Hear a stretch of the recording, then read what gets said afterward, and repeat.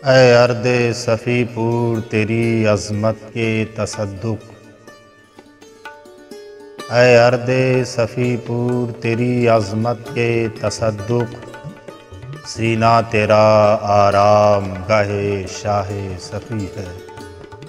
सीना तेरा आराम गाहे शाह सफ़ी है। बर्र सग़ीर बिलखसूस हिंदू पाक में तबलीग इस्लाम और इशात दीन का सहरा अलिया कराम के सर रहा। अलिया कराम की कोशिशों का ज़िक्र किए बग़ैर बर्र सग़ीर की इशात इस्लाम की तारीख़ मुकम्मल नहीं होती। यही वजह है कि यहाँ की ज़रख़ेज़ ज़मीन पर बेशुमार ख़ानकाहें और अलिया कराम के मज़ारात मौजूद हैं। शमाली हिंद के रूहानी मराकज़ में ज़िला उन्ना कस्बा पुरनूर सफ़ीपुर शरीफ अपनी मुनफरद शनाख्त रखता है। इस सरज़मीन पर जितना भी फ़ख्र नाज किया जाए कम है। यहाँ पर ऐसी ऐसी बरगुजीदा और बुलंद पाया हस्तियाँ आराम फरमा हैं, जिनके फ्यूज़ व बरक़ात से एक जहाँ मनवर रोशन है। यहाँ की खाक अकाबरीन सूफिया के लिए सुरमय बसीरत और ताज इफ्तार है। यहाँ की फ़ज़ा में हर वक्त ज़िक्र खुदा अज़्ज़ा वजल व ज़िक्र रसूल अकरम सल्लल्लाहु अलैहि वसल्लम का नगमा जारी व सारी रहता है। दसवीं सदी हिजरी के अवाइल में यहाँ की एक अजीम शख्सियत ने ऐसा शजर तबरबार लगाया जिसकी शाखें आज भी तरोताज़ा हैं और आलम को फैज़याब कर रही हैं। यानी अकाबिर अलिया मखदूमनाम शेख़ुलस्लाम हुजूर ख्वाजा अब्दुलसमद अलमारूफ़ हज़रत मखदूम शाह सफ़ी, शाह वलायत सफ़ीपूरी अलहरहमत रिजवान मजहर तजलियात रब्बानी मुहरम असरार रहमानी मखदूमनाम शेख़ुलस्लाम हुजूर ख्वाजा अब्दुलसमद अलमारूफ़ हज़रत मखदूम शाह सफ़ी, शाह विलायत, सफ़ी पूरी क़ुदसरनूरानी आप वो मुबारक हस्ती हैं जिनका पूरा ख़ानदान शमीम इल्म इरफान से मअतर है। वालिद वली, दादा वली जद अमजद बाकरामत वली। आपके आबा अजदाद में सबसे पहले एक खुदा रसीदा बुज़ुर्ग, दुर्वेश कामिल, आलिम फाजिल, हज़रत मौलाना शाह अकरम सहरवर्दी, उर्फ़ मौलाना दादा, अहद इब्राहिम शाह शर्की में सफ़ीपुर शरीफ में तशरीफ़ लाए। सफ़ीपुर शरीफ, सूबा उत्तर प्रदेश के दारुल हुकूमत लखनऊ से चौंसठ किलोमीटर जानब जनूब और शहरुन्नाव से 27 किलोमीटर जानब मगरब हरदोई रोड पर वाक़ है। और यहाँ से कस्बा बागर मऊ की दूरी 22 किलोमीटर और कस्बा बिलग्राम शरीफ 60 किलोमीटर है। और जानब जनूब कस्बा बिठूर 19 किलोमीटर है। आपके जद्द अमजद, मौलाना शाह अकरम सहरवर्दी रहमत रिजवान, सादगी के पैकर थे। और जलालो जमाल आपके चेहरे से आया था।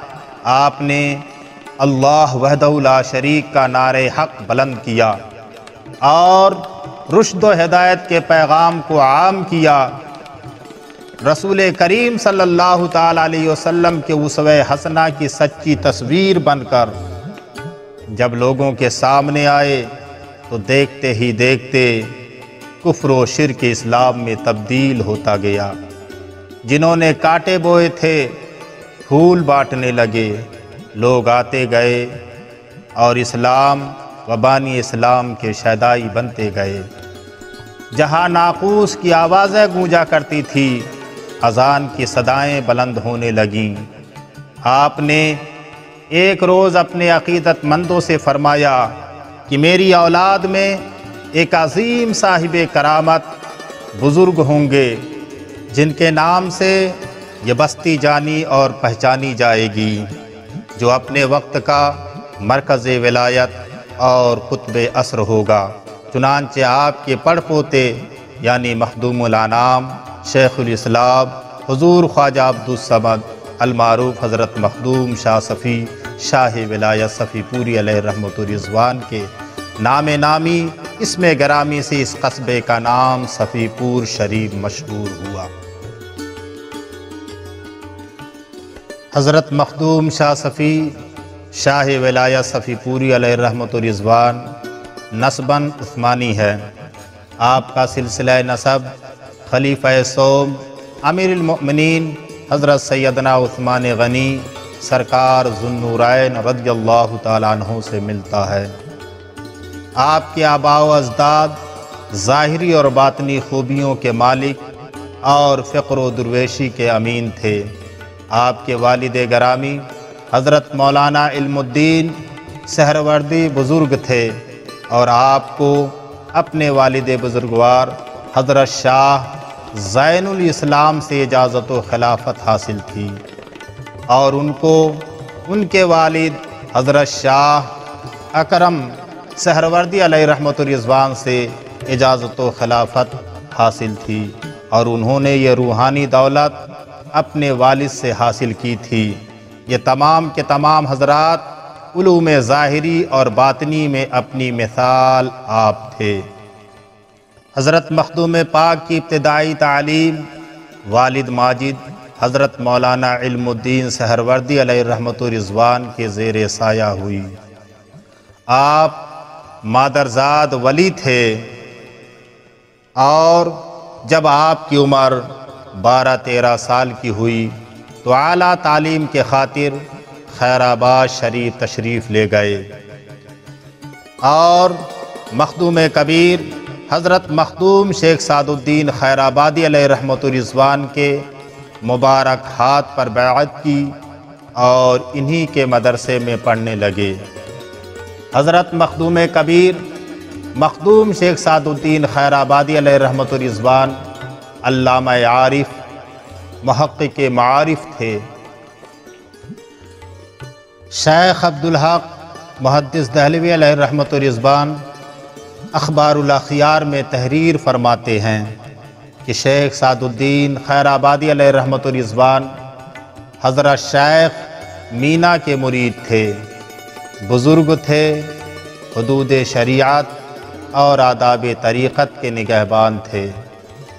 बहुत बड़ी हिम्मत रखते थे तारिक और मुजर्रत थे। अपने पीर के मिथ हसूर रहे हरीस थे वजदो समा पर। इल्म शरीयत व तरीक़त के आलिम थे। इल्म नौ फ़िका और वसूल में किताबें तसनीफ़ फरमाईं।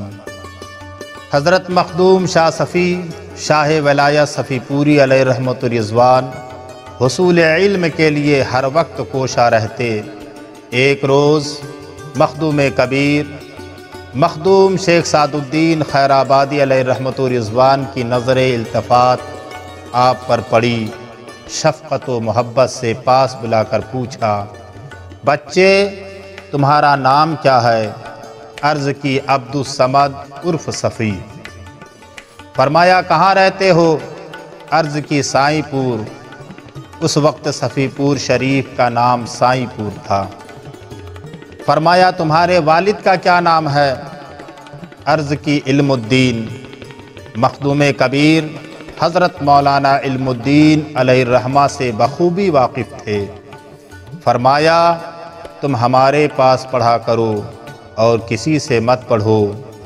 हम खुद तुम्हें तालीम तरबियत देंगे। उस दिन से आप मखदूम कबीर की खिदमत में हाजिर रहने लगे। और आप ही से तालीम व तरबियत हासिल करने लगे। कुछ दिन बाद मखदूम कबीर ने फरमाया, तुम खाना बावरची खाने में खाते हो, अब हमारे साथ खाया करो।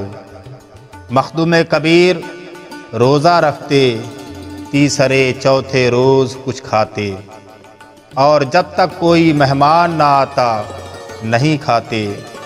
आप भी उनके साथ ही खाते तीन तीन, चार चार दिन भूखो प्यास की सख्ती बर्दाश्त करते और इस दौरान आप हसूल इल्म और मखदूम कबीर की खिदमत गुजारी में कभी कोई सुस्ती और कोताही ना फरमाई।